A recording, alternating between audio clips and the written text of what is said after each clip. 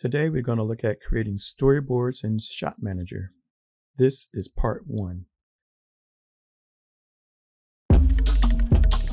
Welcome. It's going to be a great day.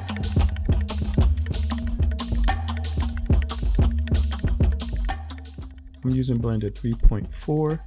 However, Shot Manager was designed to work with 3.3. This tutorial is for intermediate level Blender users and you should know the basics. First, let's have a quick look at the interface. Here is the 3D viewport, which remains the same.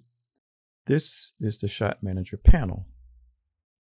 Here is the sequence timeline, which is the actual edit. Below is the interactive shot stack, which is where you create your edit. You could think of this as a rough working edit. Now let's open Shot Manager. Use the N plus the left key to reveal the Shot Manager tab on the right.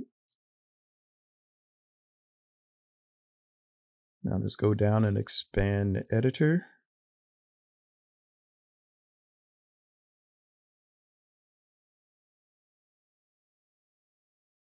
And use this icon with the film clapboard to switch from previs to storyboard layout. Also, everything, almost everything you hover over reveals a tooltip. Previs is the default status. The icon with a figure represents storyboard layout. Guess that's the artist. Click on the plus symbol to add a new board frame. We're going to only do one for now. The board is added to the current take. And we are only going to have one take for now. And we'll talk about takes later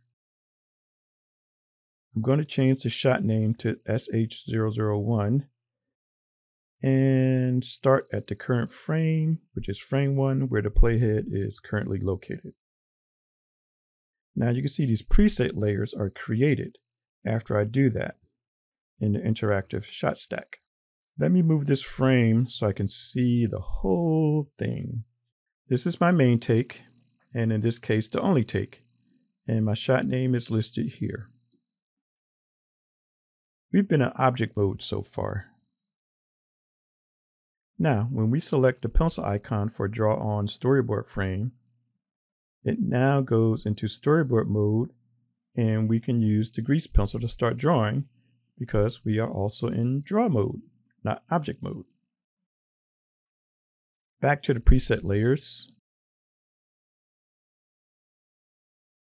Now these layers are also available to select in the Shot Manager panel. You can also select the layers with these diamonds.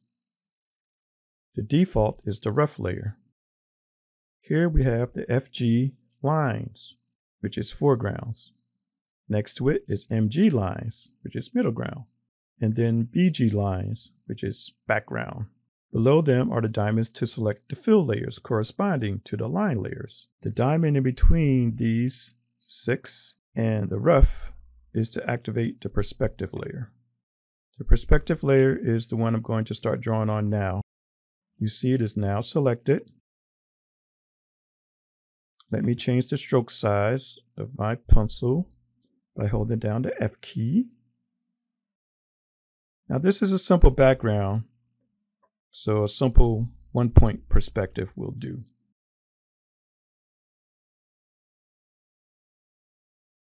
Now I select the rough layer to draw my scene.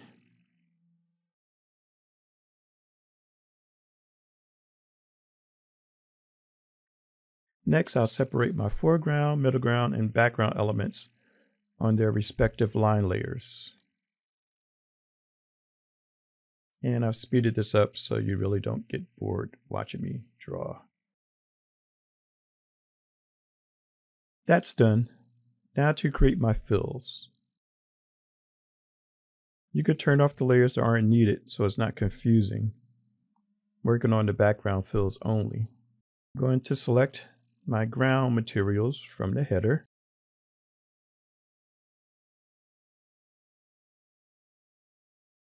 Now sky. Next, my middle ground fill material color. And finally, my foreground fill material color. Now, I've only drawn one frame. A storyboard is made up of many frames. In part two, I'll show you how to create many frames so the storyboard starts to look like this.